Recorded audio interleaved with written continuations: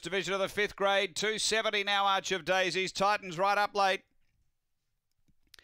Green light on, we're set to go. Ready to race. Race 10, they're away.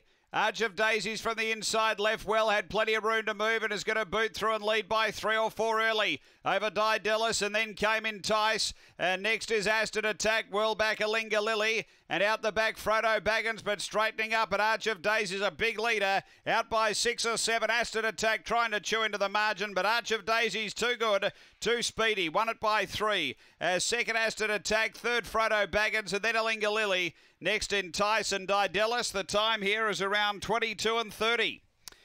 So, uh, too good the fave. She tightened up late in the market and has uh, got the cash. Number one, Arch of Daisies.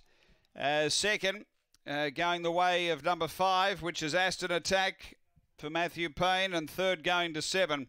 Uh, Frodo Baggins for Lisa Rasmussen. Yvonne King with the winner, Arch of Daisies. It's 1 5 7 4 fourth.